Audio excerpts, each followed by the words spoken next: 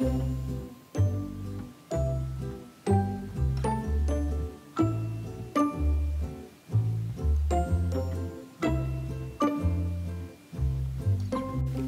guys, welcome to Friday. Today is my week, day of the week that I always make bread. And I've changed things up a little bit since my last bread making video two years ago. So I'm gonna show you guys how I'm making bread today and how you can get three quick breads out of one uh, bread mix. So I can't wait to show you guys. Come with me. Okay, so I do use a bread machine just to mix my dough. I'm not going to bake it in there, but it allows me to be hands-free and go about my business and get bread dough risen a little bit quicker. Um, so the one change that I made is I started doubling my bread recipe. So I can get sandwich bread and other breads, whether um, it's a sweet bread or a savory bread out of one batch. So I'm just going to add two cups of warm water. Um, I'm also another change I made, which is just by coincidence. In my last video, I used coconut oil to make my bread. This is um, avocado oil. So just choose a healthy oil that you would like to choose, whether it's coconut, um, avocado, sunflower, whatever you like. You could make it with vegetable oil if that's all that you had, but I wouldn't recommend it. Okay, one and a half teaspoons of salt,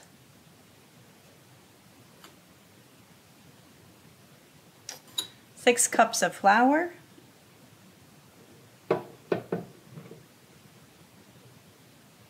and then the last ingredient is two packages of fast-acting um, yeast. If you're going to make bread the standard way, you could get away with using regular yeast, but for a bread machine, I think anyway, you have to use fast-acting yeast from my understanding. Okay, that's that. I'm going to turn it on the dough setting and started. This is about an hour and a half process that I can go and do other chores. I've got laundry to do and things like that. Um, so I'll see you back here in an hour and a half and let you know what kind of bread we're going to make today. Oh my gosh, it wouldn't be a cooking video with me if I didn't mess up something. I forgot two-thirds cup of sugar. Let's throw that in there while it's just now stirring.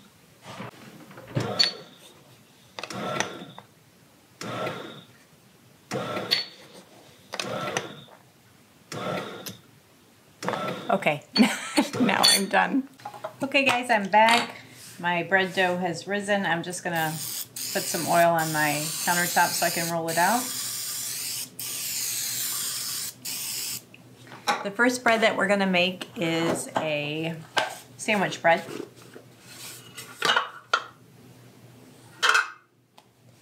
I'm just gonna divide this dough in half.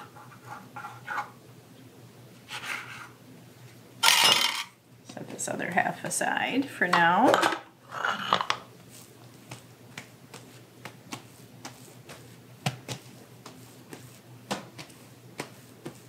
So one of the ways that you can um, keep your bread nice and moist and not, oops, I forgot to spray my rolling pin. You don't have to flour your cooked surface. You can just roll it out. And we're just gonna roll it out into a rectangle. Uh, you wanna roll it whatever length your bread pan is. Try to get all the air bubbles out. And uh, this will keep your bread, you know sometimes when you bake it and you have like holes in your bread, which is purposeful when you're making sourdough bread, but for a sandwich bread you don't really want that. So just roll it out semi-rectangly. Okay, now you're just going to start on your one side and roll it up fairly tightly.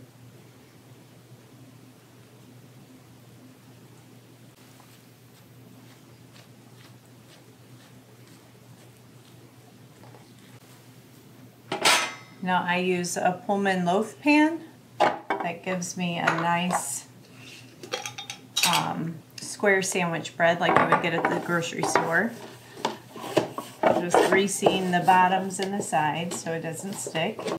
We're gonna put it in here. I already have my oven set to proof. If, you don't have a proof setting on your oven, you just wanna let this uh, rise for about an hour and a half till it's doubled in size. So there's the bread. just gonna respray our surface. I got this little gift um, from for Christmas from Cameron and Claire, and I love it. It uh, I can put my own oil in here and have a aerosol type spray can. I don't seem to waste as much that way. Okay, get that other half, and we're gonna cut this in half again.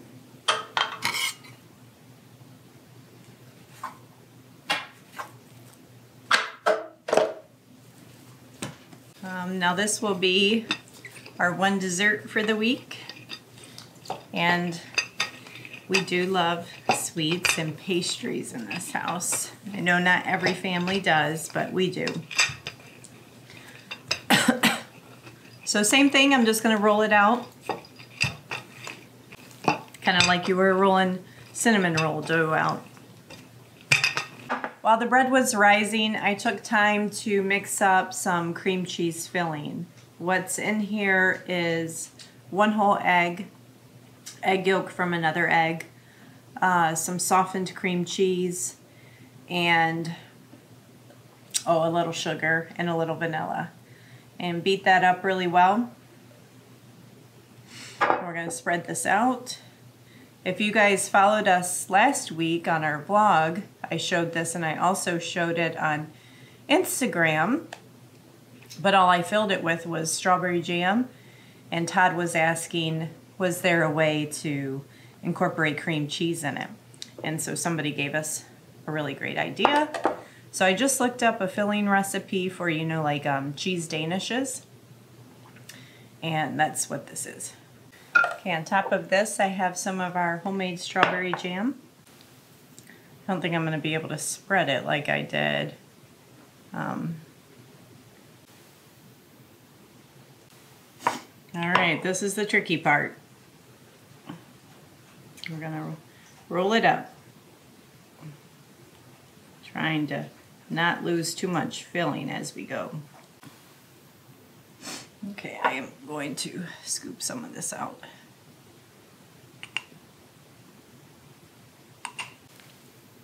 I know it's messy, but it sure tastes good.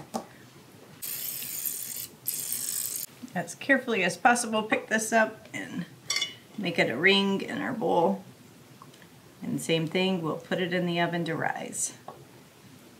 Okay, for this next one, I am going to make a savory bread. It's going to be cheddar and some of our jalapeno candy. Um, I haven't made this one before, so it's just making it up as I go. And we'll see how it turns out. And get this other half of bread out. This we'll have with dinner tonight. Tickle in my throat.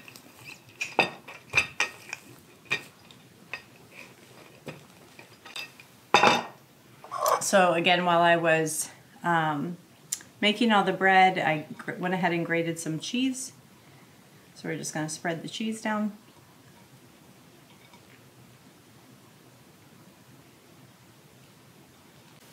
We have our cowboy candy.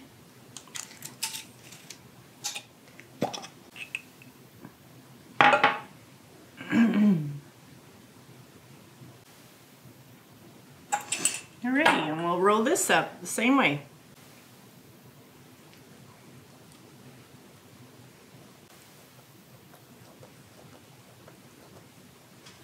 Mmm, that's going to be good. Oops. Tuck those ends under.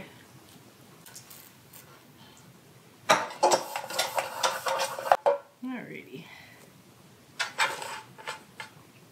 Okay, there you have it. Jalapeno cheddar and that'll go into proof as well.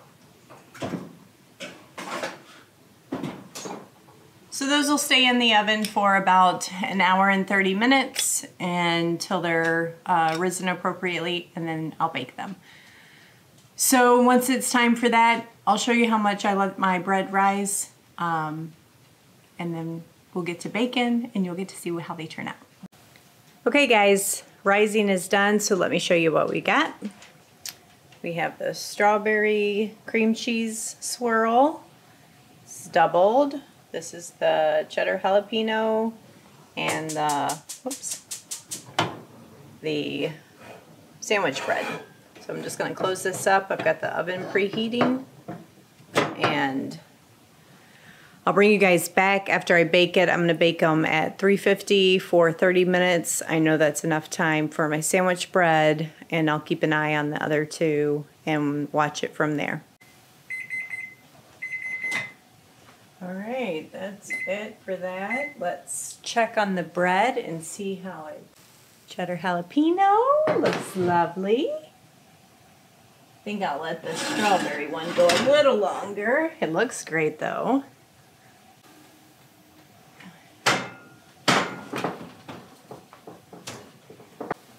There's the sandwich bread. It didn't get quite as flat as it normally does. Didn't raise quite enough, but that's okay. I'm gonna go ahead and pull it out for you guys and show you what it looks like. Come on.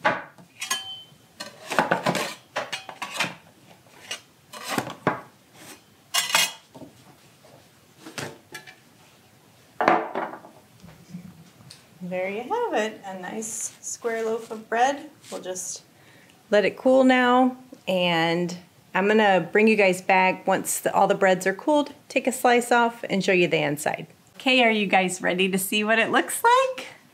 So one thing, this was the first time I made the cheddar cheese jalapeno bread. Next time I'll definitely line the pan with parchment paper because the cheese kind of oozes out and makes it want to stick to the pan. But that's what the inside looks like. And I sliced a little slice off. Looks yummy. Okay. Um, I was talking about how you don't get like air bubbles in your sandwich bread. So that's the sandwich bread. I'll just show you the inside of the whole loaf. Nice, lovely. There's a little air bubble there, but not too bad. And the best part, that strawberry goodness so fluffy and moist. Yeah. So we're to enjoy this one tonight for some dessert. And I'm sure Dan will snack on it for breakfast throughout the weekend.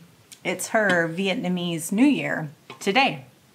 Um, I think at noon today, they celebrated over in Vietnam their New Year. So anyway, guys, I hope you enjoyed this video. It's just how you can get three completely different breads out of one bread mix and something fun to do. We're enjoying doing it here in our um, home. So thanks guys for watching. I'll talk to you later.